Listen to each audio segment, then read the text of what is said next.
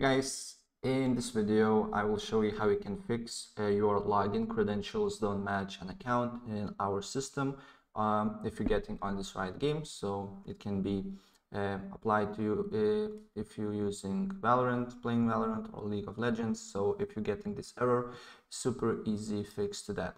So first of all, open up your Riot client and the next thing on the bottom next to this arrow to the right uh, you should see can't sign in button so press on that and you will be redirected to this window. And simply with this error what you need to do here is to change your password right? So what you need to do here next is to press forgot password. Uh, put your username here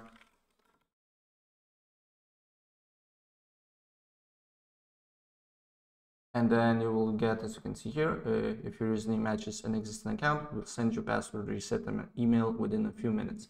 So then you need to go to your email. And then as you can see here there is uh, an email from uh, Riot Games.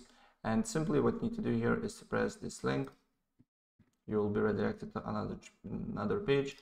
Uh, so probably it will be this one. And here you need to just uh, basically create new password. And then uh, after you create a new password confirm the new password press ok. And after that just try to log in sign into riot games again with your username and the new password.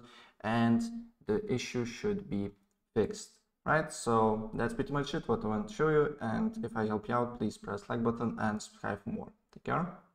Bye